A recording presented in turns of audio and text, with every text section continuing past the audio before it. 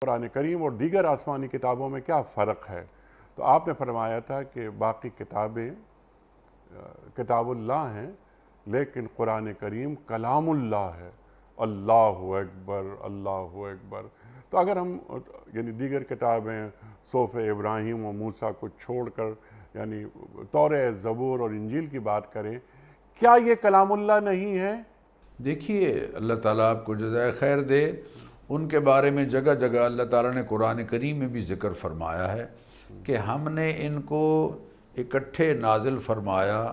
حضرت موسیٰ علیہ السلام پر تورات اتری حضرت داؤد علیہ السلام پر زبور اور حضرت عیسیٰ علیہ السلام کے سپرد جو ہے وہ انجیل ہوئی۔ جی ہاں۔ لیکن قرآن کریم کا بڑا انفرادی مقام ہے۔ قرآن کریم کی عظمت تو خود اللہ تعالیٰ قرآن کریم میں بیان فرما رہے ہیں اور یہ فرما رہے ہیں کہ قرآن کو ہم نے اپنے علم کی بنیاد پر اتارا ہے۔ اللہ۔ لیکن اللہ یشہد بما انزل الیک انزلہ بعلمہ۔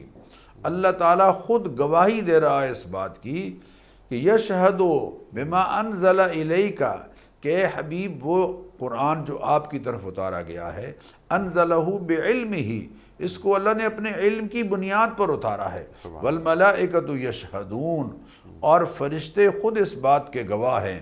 اور وبالحق انزلناہ وبالحق نزل۔ اس اس قرآن کو ہم نے حق کے ساتھ اتارا ہے آپ کی طرف اور یہ حق لے کر اترا ہے۔ پہلی آسمانی کتابیں یقیناً محترم ہیں۔ اور اپنے دور میں امت کے لیے امتوں کے لیے ہدایت کا سامان رہیں۔ لیکن اس قرآن کریم کو تو اللہ تعالیٰ نے ذکر للعالمین بنایا ہے۔ تبارک الذی نزل الفرقان علی عبدہ لیکون للعالمین نذیرا۔ بابرکت ہے وہ ذات جس نے فرقان اتارا اپنے بندے پر۔ تاکہ یہ للعالمین نذیر بنے، عالمین کے لیے بیدار کرنے والا ہو، پوری پوری انسانیت کو خبردار کرنے والا ہو۔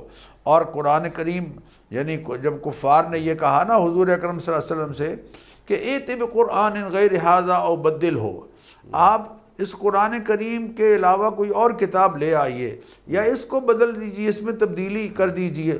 کل ما یقون لی ان من تلقاء نفسی، آپ ان سے کہہ دیجیے کہ میں اپنے پاس سے اس میں کوئی تبدیلی نہیں کر سکتا۔ ان اتبع الا ما یوحا الیہ، میں تو اسی کی پیروی کروں گا جو میری طرف وہی کی گئی ہے۔